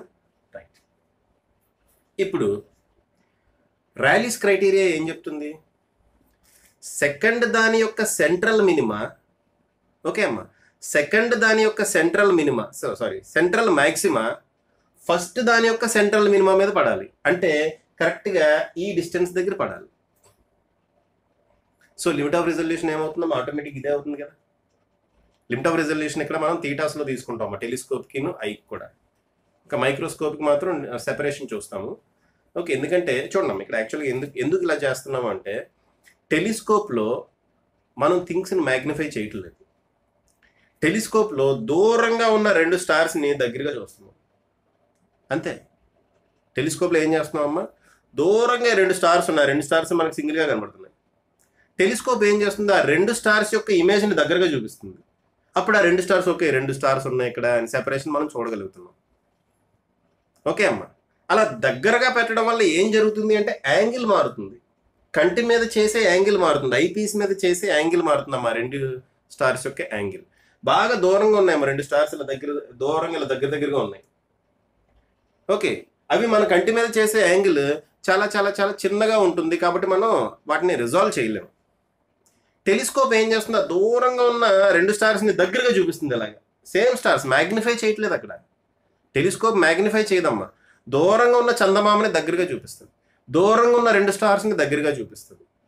అలా దగ్గరకు రావడం వల్ల ఈ రెండు అలాగే దగ్గరికి వస్తాయి. ఈ రెండు ఈ రెండు డాట్స్ ఇలా ఉన్నాయనుకోండి ఆ రెండు డాట్స్ ఇలాగే మన కంటి దగ్గరికి వస్తాయి. అలా కంటి దగ్గర రావడం వల్ల ఓకే ఈ రెండు స్టార్స్ ఉన్నాయి. సెపరేషన్ కనపడుతుంది. రెండు స్టార్స్ సెపరేషన్ మనకి క్లియర్గా కనపడుతుంది. అదమ్మా విషయం. ఓకేనా? అది టెలిస్కోప్ చేసేది. అంటే టెలిస్కోప్ ఏం చేస్తుంది? మన కంటి మీద చేసే యాంగిల్ని మారుస్తుంది. అందుకని ఇక్కడ మనం యాంగిల్ క్యాల్కులేట్ చేస్తుంది మైక్రోస్కోప్ అలా చేయదు. మైక్రోస్కోప్ ఏం చేస్తుంది? నిజంగానే పెద్దది చేస్తుంది ఇమేజ్ని ఓకే చిన్న బ్యాక్టీరియాని రెండు బ్యాక్టీరియాలు చిన్న చిన్ని పక్క పక్కనే ఉన్నాయి మనం చూడలేం. కనపడదు మనకి. వాటిని పెద్ద బ్యాక్టీరియా కింద చేసి చూపిస్తుంది. అప్పుడు మనకి సెపరేషన్ ఈజీగా కనపడుతుంది అదమ్మా ఏది? మైక్రోస్కోప్ చూసేది. సో మైక్రోస్కోప్లో మనం రిజాల్వింగ్ లిమిట్ ఆఫ్ రిజల్యూషన్ అంటే తీటా క్యాల్కులేట్ చేయం. మనం ఏం క్యాల్కులేట్ చేస్తాం? లిమిట్ ఆఫ్ రిజల్యూషన్ అంటే తీటా కదమ్మా మనం క్యాల్కులేట్ చేసేది. మనం ఏం క్యాల్కులేట్ చేస్తాం? We calculate the separation between the two bodies minimum separation between the two bodies okay అదే టెలిస్కోప్లో మినిమం సెపరేషన్ కాదు యాంగిల్ ఎంత యాంగిల్ చేస్తుంది? అమ్మ రెండు స్టార్స్ మధ్యలో డిస్టెన్స్ సమ్ క్రోర్స్లో ఉంటుందమ్మా. కానీ మనకు దూరం నుంచి వస్తున్నప్పుడు అది దగ్గరగా కనపడతాయి అంతే. నిజానికి రెండు స్టార్స్ మధ్యలో డిస్టెన్స్ చాలా చాలా కొన్ని కోట్ల దూరం ఉంటుంది. సమ్ క్రోర్స్ ఆఫ్ కిలోమీటర్స్ ఉంటుంది. ఓకేనా? బట్ మనకి ఇక్కడి నుంచి వస్తుంటే రెండు స్టార్స్ పక్క పక్కన ఉన్నట్టు అనిపిస్తుంది అంతే. ఓకే అందుకని మనం అది చేసే యాంగిల్ ఇంపార్టెంట్ ఆ రెండింటి మధ్య డిస్టెన్స్ కాదు. రెండు చాలా దూరంగా ఉంటాయి. బట్ మైక్రోస్కోప్లో మనం చాలా దగ్గరగా ఉంటాయి. ఇలా పెట్టుకుని చూస్తాం కదా మైక్రోస్కోప్ చాలా దగ్గరగా ఉంటాయి. అంటే వాటి సెపరేషన్ యాక్చువల్గా క్యాలిక్యులేట్ చేయాలి మనం. ఆ సెపరేషన్ క్యాలిక్యులేట్ చేయాలంటే ముందు అవి కనపడాలి. ఆ మైక్రో ఆర్గానిజమ్స్ కనపడాలి. ఆ మైక్రో ఆర్గానిజమ్స్ ఎప్పుడు కనపడతాయి? మైక్రోస్కోప్లో మ్యాగ్నిఫై అయితేనే కనపడతాయి. మ్యాగ్నిఫై అంటే పెద్దదిగా చేసి చూపించాలి ఇమేజ్ని అప్పుడే కనపడుతుంది ఓకే అందుకని మైక్రోస్కోప్లో మనం డిస్టెన్స్ క్యాలిక్యులేట్ చేస్తాం. ఏది లిమిట్ ఆఫ్ రెజల్యూషన్ అంటే టెలిస్కోప్లో ఓన్లీ యాంగిల్ మాత్రమే క్యాలిక్యులేట్ చేస్తాం అమ్మా. ఓకేనా చూడమ్మా నేను ఫస్ట్ చెప్పిన కాన్వెక్స్ లెన్స్ వల్ల ఫామ్ అయిన డైఫ్రాక్షన్ ప్యాటర్న్ ఏదైతే ఎక్స్ప్లెనేషన్ ఉందో సేమ్ ఎక్స్ప్లెనేషన్ దానికి ర్యాలీస్ క్రైటీరియా కలపండి అంతే.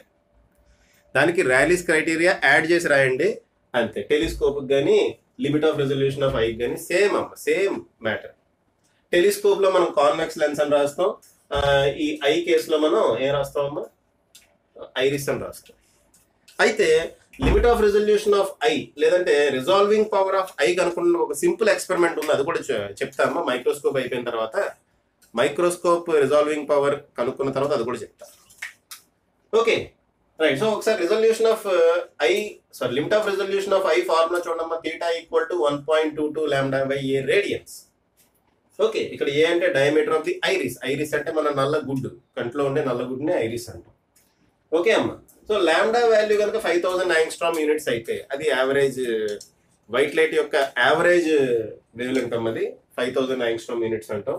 ఆ five thousand angstrom units green కలర్లో ఉంటుంది so five thousand angstrom units కనుక మనం ఇక్కడ సబ్స్టిట్యూట్ చేస్తే మనకి ఫైనల్ ఆన్సర్ ఎంత వచ్చిందో చూడండి అమ్మా. One minute. Okay so limit of resolution of eye అంతా it is nearly equal to one minute. Formula ఇదమ్మా. ఫార్ములా ఇదే. But it is nearly equal to one minute. ఇది limit of resolution of eye nearly equal to one minute అదే limit of resolution of telescope formula చూడండి theta equal to one point two two lambda by D ఇక్కడ lambda అంటే మనం చూడటానికి వాడిన light యొక్క wave length D అంటే diameter of the lens D అంటే ఏంటమ్మా? Diameter of the lens okay so limit of resolution formula ఇది. ఆటోమేటిక్ రిజాల్వింగ్ పవర్ ఏమవుతుంది? దానికి రివర్స్ ఇక్కడ కూడా అంతే. రిజాల్వింగ్ పవర్ ఆఫ్ ఐ కావాలంటే దీన్ని రివర్స్ చేయండి అంతే. రిజాల్వింగ్ పవర్ ఆఫ్ ఐ కావాలంటే మనం లిమిట్ ఆఫ్ రిజల్యూషన్ రివర్స్ చేయడం ఓకే అయితే మనం కనుక్కోవడానికి ఒక సింపుల్ ఎక్స్పెరిమెంట్ ఉందో చెప్తాలేమ్మా. దీంట్లో మాత్రం రిజాల్వింగ్ పవర్ ఆఫ్ టెలిస్కోప్ కావాలంటే సింపుల్గా దాన్ని రివర్స్ చేయండి. ఓకే రైట్ పాజ్ చేసి రాసుకోండి అమ్మా పాజ్ చేసి రాసుకోండి. ఓకే అమ్మా. Resolving power of microscope calculate చేద్దాం. అప్పుడు రిజాల్వింగ్ పవర్ ఆఫ్ మైక్రోస్కోప్ అంటే resolving power of microscope is nothing but convex lens అంటే మన ఆబ్జెక్టివ్ లెన్స్ ఇక్కడ ఆబ్జెక్టివ్ ఏంటమ్మా? కాన్వెక్స్ లెన్సే అయితే ఇక్కడ కొంచెం డిఫరెంట్గా ఉంటుంది చూడండి అమ్మా ఇప్పుడు నేను ఒక పాయింట్ ఆబ్జెక్ట్ తీసుకున్నా. నేను ఏం చేశామా ఒక పాయింట్ ఆబ్జెక్ట్ తీసుకున్నా ఇది కూడా ఒక పాయింట్ ఆబ్జెక్ట్ ఇది. ఈ ఒక పాయింట్ ఆబ్జెక్ట్ ఎక్కడ పెట్టా అంటే ఫోకల్ లెంగ్త్కి జస్ట్ బియాండ్ పెట్టామ్మా అంటే u is nearly equal to focal length F u అంటే ఏంటమ్మా? Image sorry object distance object distance focal లెంగ్త్కి just వెనకాల పెట్టా. జస్ట్ వెనకాల ఎందుకు పెట్టాను?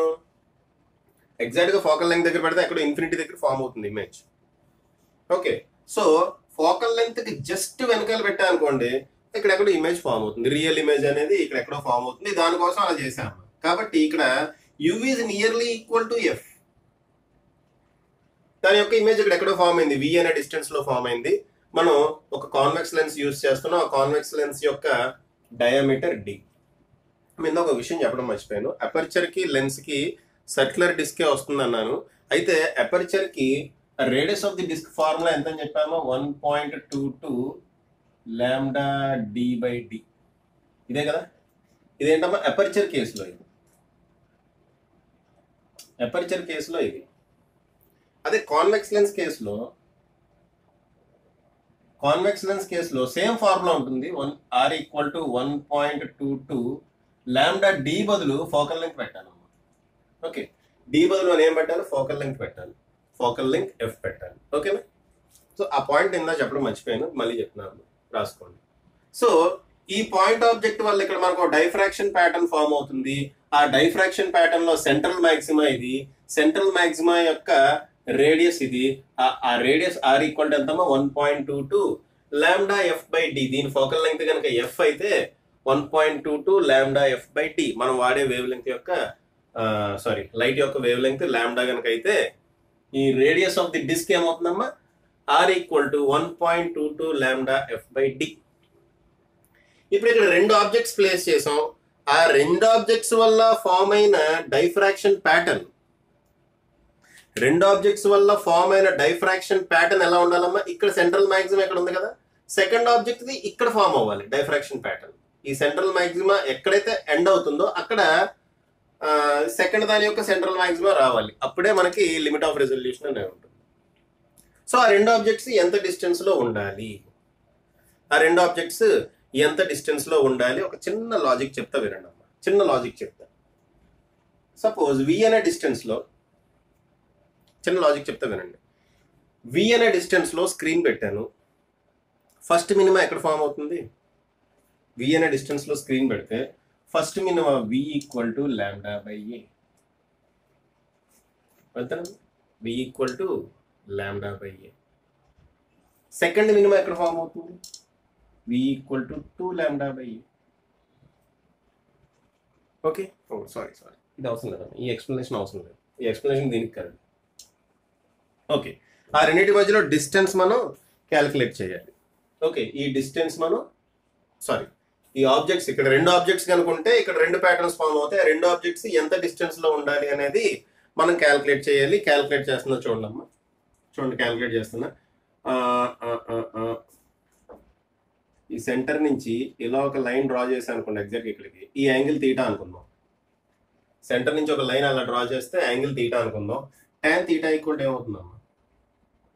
Tan theta equal to opposite side divided by adjacent side opposite side ఏమో R adjacent side v okay opposite side R divided by adjacent side v okay అది అలా పక్కన పెట్టండి ఇక్కడ ఈ ట్రయాంగిల్ చూడండి ఈ ట్రయాంగిల్ నుంచి tan బీటా ఈక్వల్ టు ఏమవుతుంది ఈ ట్రయాంగిల్ నుంచి ట్రాన్ tan బీటా ఈక్వల్ టు ఏమవుతుంది tan బీటా అంటే ఆపోజిట్ సైడ్ ఆపోజిట్ సైడ్ ఇది ఎంతమ్మా ఈ టోటల్ ఏమో డయామీటర్ డి ఈ సగమే కాబట్టి D by two opposite side divided by adjacent side adjacent side ఏమో u u is nearly equal to F కాబట్టి ఎఫ్ రాస్తుంది. Therefore tan beta equal to D by two F దీని నుంచి D by F equal to ఏం రాయొచ్చమ్మా two tan beta అని రాయొచ్చు. D by F equal to ఏం రాయొచ్చు? టూ ట్యాన్ బీటా అని రాయొచ్చు. ఇది ఈ రిజల్ట్ ఉపయోగపడుతుందమ్మా తర్వాత అందుకని అలా పక్కన పెట్టుకుందాం. నెక్స్ట్ ఇక్కడ tan theta equal to R by v అని వచ్చింది. Okay tan theta equal to R by v అని వచ్చింది. If theta is small if theta is small tan theta is nearly equal to theta. Theta కనుక small అయితే tan theta is nearly equal to theta. Okay అమ్మా tan theta is nearly equal to theta. కాబట్టి theta equal to R by v theta equal to r by v okay so r equal to theta v cheche, v theta r equal to v theta v theta equal to r అంతేనమ్మా v theta equal to R R అంటే ఏంటి చెప్పండి v theta equal to R so v theta equal to R అంటే one point two two d. F by D v what is okay అమ్మా ఇక్కడ మనకి v theta equal to one point two two lambda F by D అని వచ్చింది కదమ్మా. ఆ వి theta ఏమవుతుంది అంటే it is the minimum distance between the two objects minimum distance కనుక దానికి ఈక్వల్ అయితే ఓకే మనం జస్ట్ రిజాల్వ్ చేయగలుగుతాము. ఆ రెండు ఆబ్జెక్ట్స్ని జస్ట్ రిజాల్వ్ చేయగలుగుతాం. ఇక్కడ రెండు ఆబ్జెక్ట్స్ మధ్యలో మినిమం డిస్టెన్స్ అమ్మా. ఓకేనా? So minimum distance equal to one point two two lambda F by minimum distance D minimum equal to one point two two lambda F by D. అయితే ఇక్కడ చూడండి అమ్మా డి బై ఎఫ్ అంటే two tan beta. So D by F ఇక్కడ ఉంది అంటే F by D ఉంది కాబట్టి దీన్ని రివర్స్లో రాసుకోవాలి. Therefore d minimum is equal to one point two two lambda d by f. D by f అంటే ఏంటమ్మా? Two tan beta. So divided by two tan beta వస్తుంది. Divided by two tan beta వస్తుంది. This is the resolving power of this is the resolving power of microscope okay d minimum ఏమో resolving power of microscope మనకు కావాల్సింది resolving power కావాలి. Resolving power of microscope that is one point two two lambda by two tan beta in case మీరు కనుక mu అనే refractive index ఉన్న మీడియంలో చేస్తున్నారు అనుకోండి మ్యూ అనే రిఫ్రాక్టివ్ ఇండెక్స్ ఉన్న మీడియంలో చేస్తున్నారు అనుకోండి డి మినిమం ఈక్వల్ టు ఎంత అవుతుందంటే ఇక్కడ ల్యాండా బై మ్యూ పెట్టండి. One point two two lambda by two mu tan beta వస్తుంది. ఓకే అమ్మా. బీటా వాల్యూ కనుక వెరీ వెరీ స్మాల్ అయితే ట్యాన్ బీటా బదులు సైన్ బీటా కూడా పెట్టుకోవచ్చు. బీటా వాల్యూ కనుక వెరీ వెరీ స్మాల్ అయితే ట్యాన్ బీటా బదులు మీరు ఏం పెట్టుకోవచ్చారమ్మా? సైన్ బీటా కూడా పెట్టుకోవచ్చు. When beta very very very small this the the resolving this is the limit of resolution for microscope resolving power కావాలంటే దీన్ని రివర్స్ చేయండి. ఓకే అమ్మా? రిజాల్వింగ్ పవర్ కావాలి అంటే దాన్ని రివర్స్ చేయండి సరిపోతుంది. ఓకే సరే పాజ్ చేసి రాసుకున్నాం మీ కాన్సెప్ట్ అర్థమైంది కదమ్మా? మినిమం డిస్టెన్స్ ఎంత ఉండాలి? ఇదిగోండి ఇది. One point two two lambda F by D ఇక్కడ ఎఫ్ బై డి అంటే ఇదిగోండి ఆల్రెడీ క్యాలిక్యులేట్ చేసుకున్నాం. డి బై ఎఫ్ అంటే టూ టెన్ బీటా కాబట్టి ఎఫ్ బై డి అంటే ఏమవుతుంది? One by two tan beta అవుతుంది. అదే సబ్స్టిట్యూట్ చేసాం. సబ్స్టిట్యూట్ చేసి ఇదిగోండి ఇలా వచ్చింది. ఒకవేళ మీడియం కనుక వేరే మీడియం ఉంటే కనుక ల్యాండా బదులు ల్యాండా బై మ్యూ పెట్టాలి. దెర్ఫోర్ ఇది వస్తుంది. ఓకే అమ్మా? పాస్ చేసి రాసుకోండి పాస్ చేసి రాసుకోండి. అమ్మా రిజాల్వింగ్ పవర్ ఆఫ్ ఐ కనుక్కోవడానికి ఒక చిన్న సింపుల్ ఎక్స్పెరిమెంట్ ఒకటి ఉందమ్మా. రిజాల్వింగ్ పవర్ ఆఫ్ ఐ కనుక్కోవడానికి వెరీ వెరీ సింపుల్ ఎక్స్పెరిమెంట్ ఒకటి ఉంది. ఆ ఎక్స్పెరిమెంట్ ఏంటో ఒకసారి చూడండి అమ్మా మీరు ఒక వైట్ పేపర్ తీసుకోండి. వైట్ పేపర్ మీద బ్లాక్ అండ్ వైట్ స్ట్రిప్స్ ఇలా ఇలా చేయండి అమ్మా చూడండి ఇక్కడ ఏదో మధ్యలో వైట్ వైట్గా ఉన్నాయి అలా కాదు. టోటల్ బ్లాక్ చేసేయండి అమ్మా ఓకే మొత్తం నేను రాస్తుంటే ఇంక్ అయిపోయింది కాబట్టి ఇలా వచ్చింది. ఓకే అమ్మా సో ఈ మొత్తం బ్లాక్ అయిపోవాలి. ఇక్కడ బ్లాక్ స్ట్రిప్స్ ఉన్నాయి కదా మొత్తం బ్లాక్ అయిపోవాలి. మధ్య మధ్యలో వైట్ స్ట్రిప్స్ ఉంటాయి. ప్రతి బ్లాక్ స్ట్రిప్స్కి మధ్యలో వైట్ స్ట్రిప్ ఉంటుందమ్మా. అయితే ఈ స్ట్రిప్స్ ఈ ఈ స్ట్రిప్స్ ఎలా డ్రా చేయాలి? స్ట్రిప్స్ అంటే stripes okay black stripe white stripe black stripe white stripe black stripe white stripe black stripe white stripe stripes అంటున్నాం అన్నమాట ఓకే స్ట్రైప్స్ అంటే గుర్తుంది కదా మన షర్ట్ల మీద స్ట్రైప్స్ ఉంటాయి కదా అటువంటిదే. అలాగే ఒక వైట్ పేపర్ మీద కొంచెం ఒక లెంగ్త్ ఉన్న వైట్ పేపర్ తీసుకొని దాని మీద ఇటువంటి ప్యాటర్న్ ఒకటి ఫామ్ చేయాలి. అయితే ఈ వైట్ స్ట్రైప్స్ ఎలా ఫామ్ చేయాలో చూడండి ఒక్క నిమిషం. ఈ వైట్ స్ట్రైప్స్ ఎలా ఫామ్ చేయాలంటే బ్లాక్ స్ట్రైప్స్ యొక్క విత్ కాన్స్టెంట్గా ఉండాలి. Okay width of black stripes width of black stripes ఎలా ఉండాలమ్మా? కాన్స్టెంట్గా ఉండాలి. ఫర్ ఎగ్జాంపుల్ ఫైవ్ మిల్లీమీటర్స్ తీసుకోండి. So width of black stripes five millimeters ఉండేటట్టు చూసుకోండి. Next width of width of white stripes width of white stripes ఎలా ఉండాలి? Left hand నుంచి రైట్ హ్యాండ్ సైడ్కి వెళ్తుంటే ఇంక్రీజింగ్ ఆర్డర్లో ఉండేటట్టు చూసుకోండి. లేదా అటు నుంచి ఇటైనా ఓకే ఒక వైపు నుంచి ఇంకో వైపుకి వెళ్తున్నప్పుడు ఇంక్రీజింగ్ ఆర్డర్లో ఉన్నట్టు చూసుకోండి. అంటే ఫర్ ఎగ్జాంపుల్ ఈ first the zero zero point five millimeters ఉందనుకుందాం. సెకండ్ ది వన్ మిల్లీమీటర్ ఉండాలి. ఆ తర్వాతది వన్ పాయింట్ ఫైవ్ మిల్లీమీటర్స్ ఉండాలి. ఆ తర్వాతది టూ మిల్లీమీటర్స్ ఉండాలి. ఈ విధంగా ఇంక్రీజింగ్ విత్ ఉండేటట్టు వైట్ స్ట్రైప్స్ ఉండాలమ్మా. బ్లాక్ స్ట్రైప్స్ మాత్రం కాన్స్టెంట్ విత్ ఉండాలి. బ్లాక్ స్ట్రైప్స్ కాన్స్టెంట్ విత్ ఉండాలి ఫైవ్ మిల్లీమీటర్స్ విత్ ఎగ్జాంపుల్ చెప్తున్నాను. వైట్ స్ట్రైప్స్ ఇంక్రీజింగ్ విత్ ఉండాలి. First zero point five millimeters ఉంటే సెకండ్ వన్ మిల్లీమీటర్ థర్డ్ది వన్ పాయింట్ ఫైవ్ మిల్లీమీటర్స్ ఫోర్త్ది టూ మిల్లీమీటర్స్ ఉండాలమ్మా. ఓకే యాక్చువల్గా ఈ రకంగా ప్యాటర్న్ మనం ఒకటి ఫామ్ చేసుకుని ఇలా గోడ మీద అంటించేస్తాం. ఈ గోడ మీద అంటించిన తర్వాత మెల్లగా ఏదో ఒక వైట్ స్ట్రిప్ని చూస్తూ ఉండండి. ఓకే ఏదో ఒక వైట్ స్ట్రిప్ ఫర్ ఎగ్జాంపుల్ ఇది చూద్దాం. ఇది చూస్తూ ఇలా చూస్తూ ఓకే అమ్మా ఇది ఇది మనిషి అనుకోండి.